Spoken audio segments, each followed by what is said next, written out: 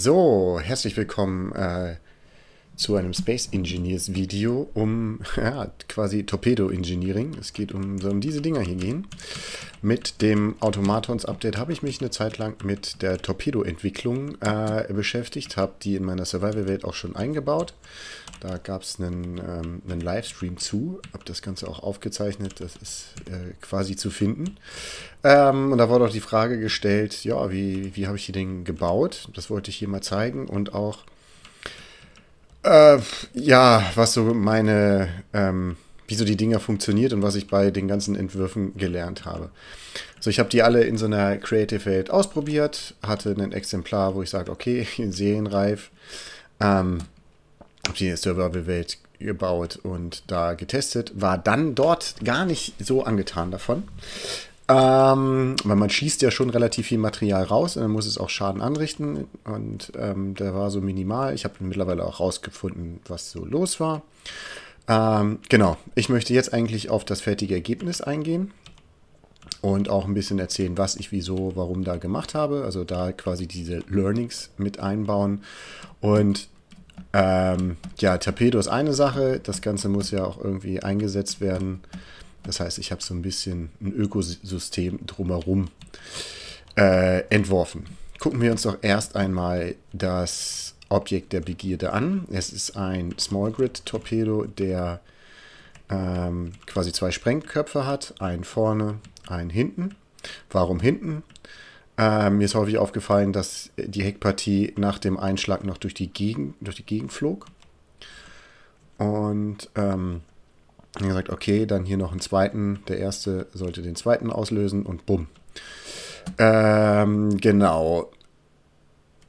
Dann sollte das Ganze Small Grid sein, um ja einfach nicht so viel Material zu verballern und um kleine Sachen rauszuschicken. Äh, Hydrogen, weil hauptsächlich für, für Space und ich finde Ionen angetriebene Dinge ich meine, hier gehen jetzt auch schon, wenn wir uns das hier mal angucken, hier an der Stelle ähm, Metallgitter, Metal Grids mit drauf, die Kobalt brauchen, was ja am Anfang immer gern mal eine rare Ressource ist.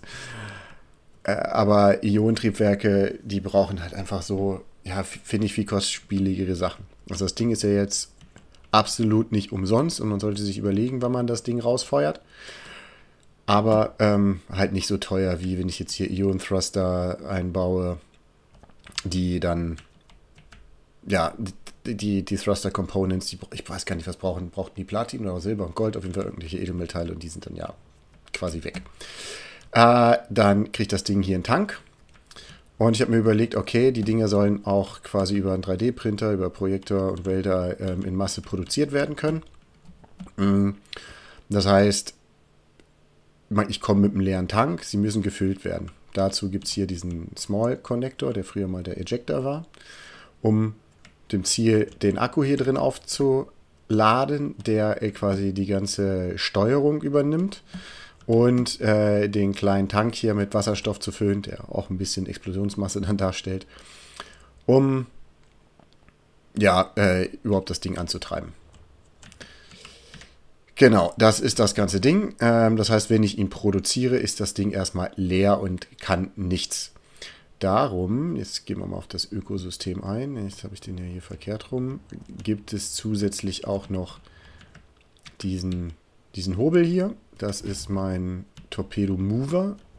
Hier kann ich im Prinzip den Magnetplatten. Na, also die Triebwerke sind auch ein bisschen davon abgesetzt, dass ähm, ich nicht den Torpedo schon beim Transport quasi vernichte. Kann ich ihn nehmen. Ah, da ist noch mein Prototyp. Also mein, was heißt mein Prototyp? Eigentlich ist das mein, ähm, mein Gerät, mit dem ich quasi den Proof of Concept gemacht habe, dass das Ganze auch so funktioniert. Äh, hier was hingebaut, dass ich den zack, zack, zack dann an eine Startvorrichtung bringe. Am Anfang habe ich das auch mit so einem kleinen Flieger gemacht. Einfach nur kommt das Ding, wird das, hat der Flieger halt selber angedockt. Ich, wir sehen hier schon, okay, der schwingt auf dem Magneten, oder? Oder? Ist der hier aus? Nee, ist an. So. Dann ähm, machen wir hier mal den aus. Bam. Steigen aus. Ähm, gehört alles zum Proof of Concept. Hier rein. Ready. Bomb. Und dann haben wir den drin. So. Äh, es würde der betankt werden und so weiter und so fort. Ich habe hier schon mal ein Ready. Ähm, genau. Dann ist das Ding hier drauf. Oh, wir machen es an dem hier. Den anderen können wir dann für andere Späßchen nehmen. Ich fliege jetzt erstmal mein, meine Logistikeinheit nach hinten. Zack. So, dann die zweite Logistikeinheit. Wie gesagt, das war hier richtig nur Proof of Concept. Ich den dann hier mit dem Landing Gear durch die Gegend gekarrt. So, das andere ist dann auch das Einsatzreife. Dann habe ich in dem Ding drin, wir können ja erst nochmal reingucken. Ähm, dazu nehmen wir mal einen, der nicht verbunden ist, dass wir nicht noch andere Components sehen. Wir mal rein in Control Panel. Was haben wir hier drin? Wir haben die Thrusters, wir haben die Warheads, wir haben AI Flight Modul, ein Offensive Modul, was aufschaltet. Wir haben ein paar Timer, ähm, einen Event Controller, die, die Thruster, den Connector, eine kleine Batterie, einen kleinen Tank und hier unten sind die Warheads. Ich meine, ich habe hier nichts sonst weiter ausgeblendet, genau. Und letztendlich wird der Timer einmal abgefeuert, der dann sagt, ich mache den Connector Unlock, also von Seiten des Torpedos. Ähm, ich habe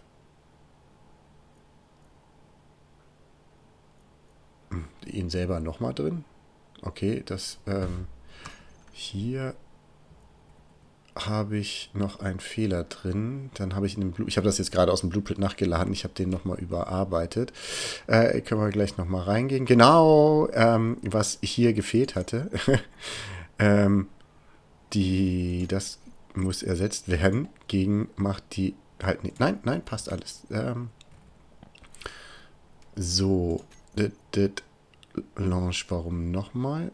Mhm, mhm, der kann, das kann raus. Ich nehme ihn mal raus. Wir finden sie gleich raus. Ähm, abdocken. Stockpile off. Triebwerke an. Combat-Modul an. Der, das andere Modul ist schon an. Der Flight, das Flight-Modul. Combat-Modul ist programmiert auf. Ähm, wo ist es? Da. Ziel auf Enemies. Man könnte es im Prinzip auch noch vorher sagen, okay, ähm, welche äh, Subsystems sollen angegriffen werden. Zum Beispiel Propulsion, äh, Propulsion, dass er auf die, die Antriebe geht. Ähm, auf jeden Fall Collision Avoidance, also ich habe es hier im Override, ähm, soll er nicht haben. Genau, also er hat Art Angriffsmodus, wo, wo ist denn hier Intercept? Also er fängt das Ding an ne, und will, will es rammen. Ähm, es geht hier in den Antrieb. Ähm, ja, das, das im Prinzip geht er jetzt auf den nächsten. Man kann noch auf den größten oder auf den kleinsten gehen. Das ist so eine Sache, die müsste man eigentlich in die, äh, die Kommandokonsole des Torpedo, der Torpedo-Plattform reingehen und sagen, okay, den Torpedo programmiere ich jetzt für dieses Verfahren auf. Ich will auf kleinsten, auf größten, auf Waffen, auf was auch immer, was man auch immer treffen will. Ähm, für dieses Szenario ist es jetzt Propulsion. Im Flight-Modul habe ich im Prinzip, das ist an, Precision Mode aus, Collision Avoidance an. Erst wenn er in Angriff übergeht, soll er halt Override machen und das Ding aus. Soll er nicht vorher irgendwo reinkrachen. Speed Limit auf jeden Fall hoch. Das Ding soll volles Pfund rein donnern. Äh, das alles hier unten ist eher für im Planeten. Dafür habe ich das Ding aber noch gar nicht getestet. Den Event Controller, ähm, der ist jetzt in. Ich habe verschiedene Sachen ausprobiert. Am Ende ist es geworden, dass um das Ding auch am Überleben zu halten, die Warheads ähm, unscharf zu haben. Also sie sind hier auch nicht gearmt. Und erst wenn, ja, zweieinhalb Meter, also ein Block äh, vor dem Ziel, soll er die scharf machen. Wenn er sie zu spät scharf macht, ja, rammt das Ding einfach nur rein. Wenn wir sie zu früh scharf machen und das Ding Abwehrfeuer bekommt von den, äh, von den von Gatling Guns oder was immer, kann es sein, dass wir, dass er schon vorher hochgeht und keine Wirkung im Ziel erreicht. Darum habe ich das mit dem Event Controller gemacht, kurz vorher, bam, scharf. Selbst wenn er ihn dann erwischt, zweieinhalb Meter vorher, ja, ist er wahrscheinlich bei einer Geschwindigkeit von 100 Meter pro Sekunde ähm, beim Treffer schon im Ziel oder so kurz vom Ziel, dass er auf jeden Fall eine Wirkung im Ziel erreicht. Genau, äh, das ist eigentlich die Logik dahinter. Das heißt, zum Starten äh, müssen wir hier eigentlich nochmal wieder reingehen und kurz in den Timer-Block gehen. Den hier rausnehmen, weil wir den ja quasi hier direkt anstarten. Ähm, gehen hier rein, holen uns den Timer, Launch-Timer hier rein, sagen, ja, Trigger Now, man kann es auch in der Startsequenz irgendwie machen. So, und dann wird das Ding losgehen. Damit das Ganze jetzt auch irgendwie hier einen Spaß hat. Äh, da hinten ist ein Beacon. Hier drüben habe ich noch Drohnen, Angriffsdrohnen ausprobiert. Die waren dann quasi nächste Stufe. Ich fliege hier mal weg.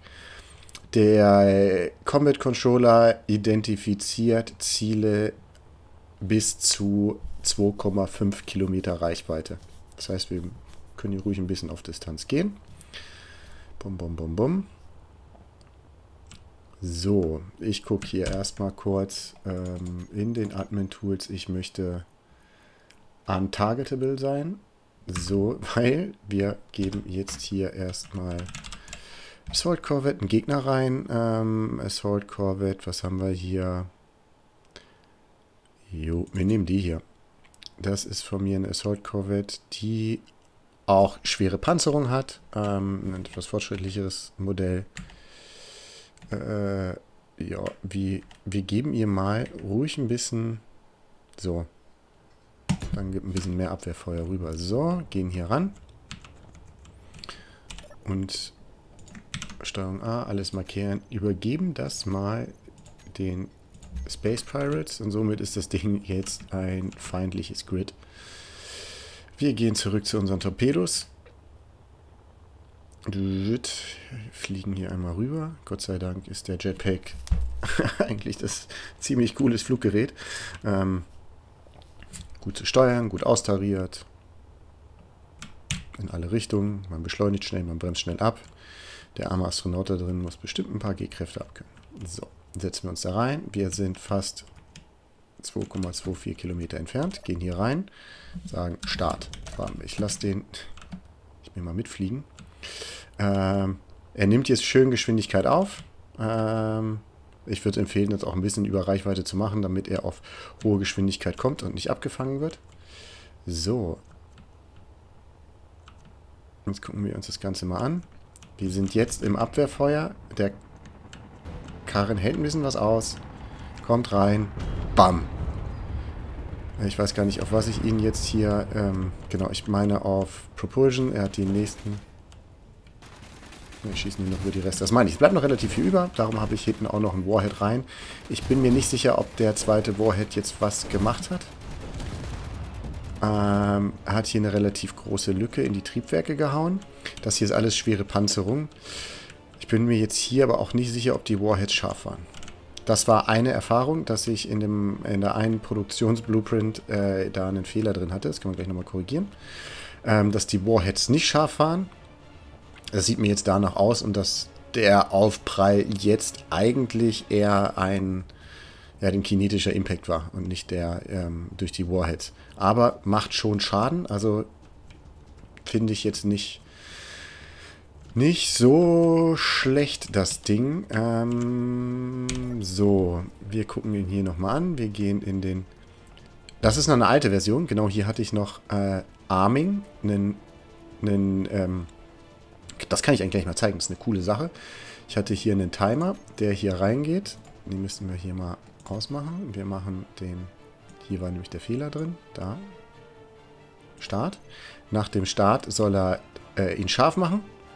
Dann sind die, wenn wir den Arming, nein, nicht der Armin, sondern der ist Arming, der macht die Warheads scharf. Ähm, das heißt, sie sind aber schon 5 Sekunden nach dem Start scharf und wenn er dann Abwehrfeuer bekommt, ja, kann es sein, dass das Ding hochgeht, bevor es Ziel erreicht.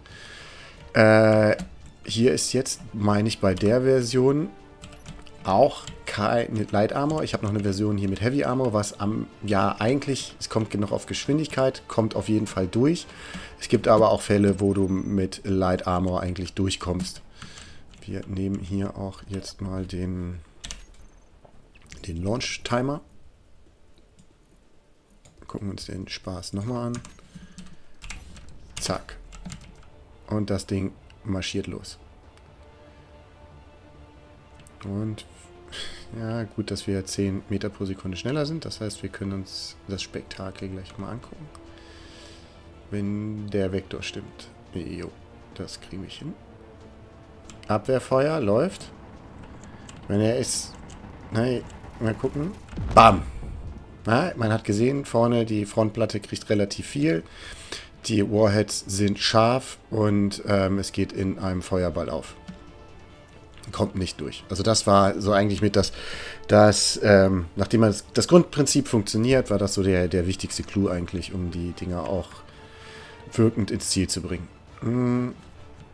Machen wir den hier mal weg. So. Ich habe dann, äh, wie gesagt, so eine Startplattform habe ich in meinem Survival-Game auch, aber ich habe mein Kanonenboot, ähm, womit ich quasi alle aggressiven Geschichten mache. Weil die Idee war eigentlich, so einen kleinen Karren zu haben, der zur Not schnell nachgebaut ist, nicht so viel Material drauf geht und dem man nicht hinterher weint. Ist immer ein bisschen gewachsen mit seinen Aufgaben mittlerweile, würde ich sagen. Ist okay. Das, ähm, ja, das äh, Konzept, die Plattform darf aber überarbeitet werden. Ich glaube, noch viel mehr ausreizen kann man den Karren nicht, weil er jetzt auch schon, was Agilität angeht, echt am, ja, an der Grenze ist. So, hier sollte das Ding auch dran befestigt werden. Und ein Ding war, ähm, ich brauche ja einen Small Ejector, einen Small Connector. Und der Small Connector, den gibt es nur im Small Grid. Das heißt, ich habe hier ein Subgrid reingebaut. Hier ist ein, ähm, na, wie heißt es? Ein einen Rotor, wo dann hier in ein Small Grid weitergeht. Äh, den habe ich hier auch mit schwerer Panzerung ausgeführt. Äh, habe dann hier den Ejector rangebaut. Habe gedacht, okay, cool, ich finde ja die Autocannons eigentlich ganz cool. Kann man hier ein Autocannon-Turret ranbauen. Ähm, na, macht man die Not zur Tugend äh, das Ding hier ran, Torpedos ran, ein bisschen mit rumgeflogen. Ah, einmal auf Tastatur falschen Knopf. bei voller Fahrt den Ejector entkoppelt und der Torpedo trudelte rum. Das heißt, ich musste den erstmal einfangen. Äh, war ein, ja, da sollte das Material einfach so durch die Gegend fliegen, den zu bergen, war nicht einfach. Darum habe ich hier noch eine Sicherung eingebaut, eine Magnetplatte. Das heißt, ich muss jetzt erst die Magnetplatte drücken, um ihn zu entsichern dann die Startprozedur einleiten. Also ich habe äh, einen Sicherheitsmechanismus drin. Das können wir gleich mal ausprobieren und wir ja, können hier erstmal in den Torpedo reingucken, weil das ist quasi die finale Version. Wie hatte ich ihn genannt? Torpedo mag. Also ich habe hier eigentlich auch äh, dann dem einzelnen Torpedo immer eine Seriennummer oder so eine eindeutige Bezeichnung gegeben, dass ich nachträglich, weil ich muss ja den, den Timer zuordnen, dass ich weiß, feuere ich jetzt Portzeit oder Starboard-Zeit ab. Wenn wir reingucken, wir haben wieder einen Event-Controller, der sagt Distance Lock to Target, 2,5 Meter. Hop, Select Actions. Payload ist die Gruppe. Ähm, der Warhead macht den scharf. Ähm, wo haben wir den Launch Timer? Der, na, hier ist der ist auch raus. Anlocken, Ding jetzt anmachen, klack, klack, klack, gleiche wie eben. Wenn wir jetzt hier in den Flieger mal reingucken. Habe ich hier irgendwo... So. Jetzt ist die Sache, na, wie gesagt, ich bin hier irgendwann mal auf 1 gekommen und dann trudelt der Torpedo weg. Ich muss die Sicherung lösen, also 4 und 5.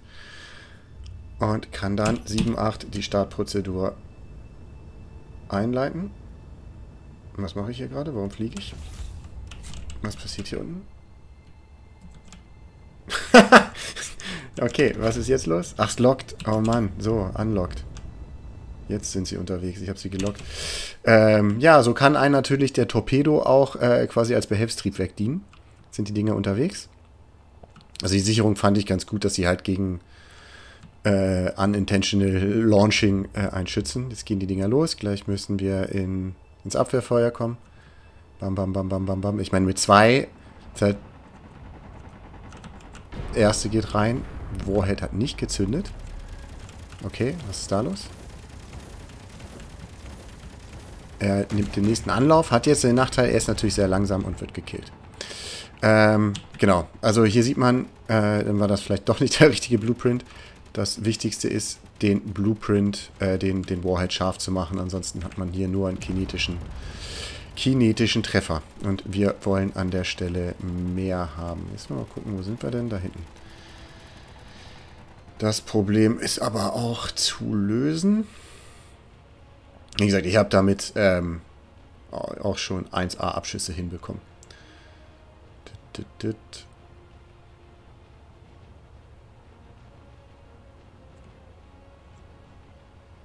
So. Dann Torpedo. Ich habe mir hier einen Blueprint von gemacht von den einzelnen Entwicklungsstufen. Äh, hier habe ich das Gunboat mit Torpedo geblueprintet. In welche Richtung muss ich denn? In die. So. Gucken wir nochmal rein. Warum ist der nicht scharf geworden? Was haben wir denn hier überhaupt? Hm. Combat. Closest. Gehen wir mal auf die Weapons. Ähm, bei dem anderen gehen wir auch auf die Weapons. So, und dann... Wo sind die Event Controller? Sagen, probieren wir mal was aus. 3 Meter, bei dem anderen 5 Meter. Mal gucken, was besser funktioniert. Wieder im Flieger. Seite 4 war es. So, Magnetplatten, bam bam. Ja, ich unlocke sie, Sicherung raus, Feuer, Feuer. So, gleich hinterher, da sind sie.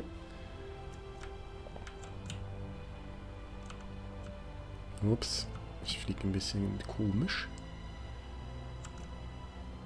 Wir kommen gleich ins Abwehrfeuer. Abwehrfeuer feuert. Jetzt gucken wir mal.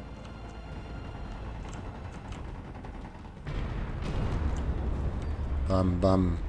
Ja, ich glaube, die beim ersten war es auch schon der War-Add an. Ähm, wie gesagt, alles Heavy Armor. Ähm, ja, hat man mal einen Eindruck, was wie das Ding gegen Heavy Armor wirkt. Ähm, Light Armor war desaströs, wenn da zwei Warheads reinmarschieren. Ähm, ja, hier sehen wir, Heavy Armor macht auch schon Lücken. Aber da sieht man, finde ich jetzt auch im Prinzip, dass ähm, äh, mein, ja, meine Schwäche, finde ich, in diesem Torpedo-Konzept. Man kann zwar gut was rausschießen, das Schiff an sich, wenn es ein bisschen robust gebaut ist, ist aber noch einsatzfähig. Und da ist halt die Frage, ist der, die, die Mittel, die ich hier verschieße, rechtfertigt die die Wirkung? Ähm, ich meine, ich habe hier, okay, äh, eine Artilleriekanone weggedongelt, ähm, hier eine, eine Assault Gun Turret. Hier fehlt, glaube ich, auch noch ein Raketenwerfer. Ähm, Triebwerke fehlen. Aber dafür sind jetzt hier auch vier Torpedos reingegangen ist, boah, hm, ne? Wenn ähm, man jetzt weiß, okay, man hat keine Chance und muss die Dinger raushauen, weil es geht ums Überleben, okay, dann die Dinger, Dinger raushauen, möglichst viel Schaden machen. Ähm, ich spiele ja eigentlich keine PvP-Geschichten, sondern Survival. Ähm, ja, wenn ich jetzt hier so ein, so ein Schiff übernehmen will, pff, ist es die Frage, ob es das richtige Mittel ist. Ähm, man könnte solche Sachen machen wie okay, wenn ich ein Schiff verfolge, von hier hinten in den Antrieb rein.